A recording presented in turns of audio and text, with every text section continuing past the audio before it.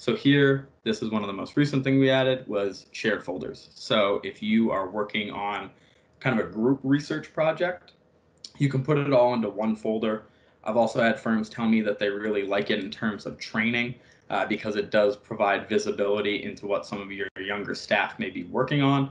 Uh, so they say, you know, as you're going through training, I'll give you sort of a, a dummy research project. Fill up this folder. Uh, I want to see what you populate it with, you know, where your thoughts are, um, and, and, go from there. So a couple of different ways you can use shared folders, but really the point here is that we actually show you what's changing with our features. So when I click on one, it takes me directly to that area. And then it's going to give me these little blue blurbs saying, you know, show me how, walk me through this example, whatever it may be. And this is how the artificial intelligence helps you learn how to use the platform continuously. I know that for you know professionals like yourselves, you're keeping on top of regulations, legislative changes, working with your clients. You don't want to have to add technology as a large piece of the learning curve as well.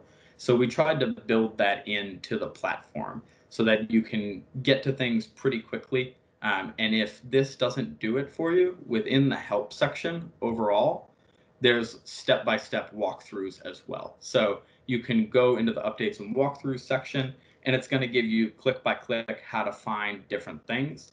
So that way, you know, if you don't have time to speak to your account rep or someone on the more technical side like myself, you can go here for a little bit of quick self-help. Um, and I think this is a fantastic resource if that hasn't sort of satisfied the need you have for learning more about the program, then take that next step, call your account rep, um, you know, reach out to me, and we can dig a little bit deeper uh, and see what you might need there.